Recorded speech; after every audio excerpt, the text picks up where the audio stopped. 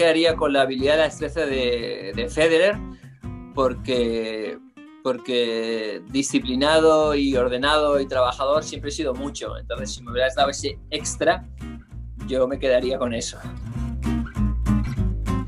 Yo empecé haciendo judo, pero me machacaban, era muy pequeñito, en mi casa me llaman enano, me llamaban enano, era bajito, me ponían un chaval que era muy grande, un fortachón, y alternaba lo que era judo con el tenis hasta que al final dije, no quiero más judo, quiero que me dejen tranquilo, quiero el rival bien lejos y me empecé a dedicar solo al tenis.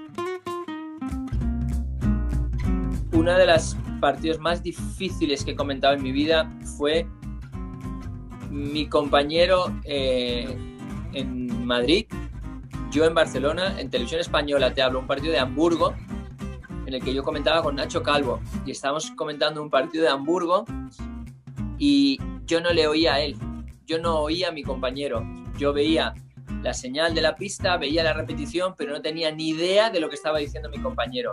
Entonces nos comunicamos y le dije, bueno, cuando acabe el punto, habla tú, cinco segundos más o menos, entonces yo contaba, un, dos, tres, cuatro, cinco, pensaba, bueno, y ahora empiezo a hablar yo, pero yo no tenía absolutamente ni idea de lo que estaba comentando él. Entonces, a lo mejor él decía, qué buen revés que acaba de meter, no sé qué jugador era, y, yo llegaba y decía, qué buen revés acaba de meter. Entonces yo pensaba, la gente debe pensar, este tío está loco, no, no, no oye al otro, que por suerte fue una ronda como de primera o segunda ronda por la mañana, no creo que hubiera mucha gente y no se notó, pero, pero realmente lo sufrí mucho.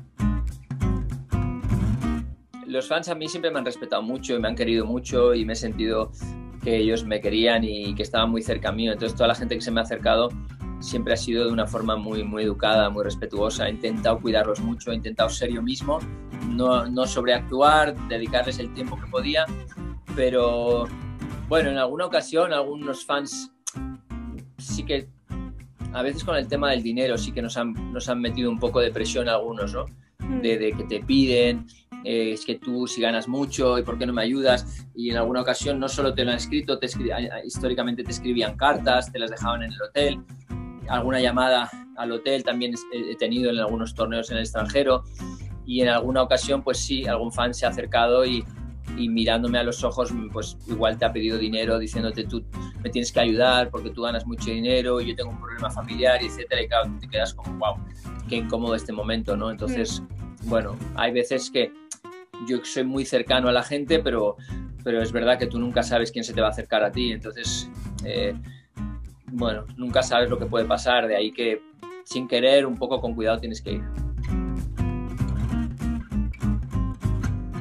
¿En qué pista? ¿En qué superficie? ¿Cuál se te da mejor a día de hoy? La verdad, pero a día de hoy, o sea, si yo tuviera que jugar mañana contra Rafa Nadal, si me dieras un tiempo para prepararme. Te doy tiempo para prepararte y él acaba de ganar eh, el abierto de Australia. O sea, está roto. No, no. Eh, mira, te lo prometo, eh, y lo digo de verdad y lo pienso, pero con el corazón, perdería 6-0, 6-0, 6-0, seguro. Es imposible. Otra cosa es que me dieras tiempo para prepararme, que entrenara, porque ahora no estoy entrenado, que hiciera físico, que jugara tenis, que tuviera sensaciones y tal. Y entonces yo creo que igual perdería 6-1, 6-1, 6-1.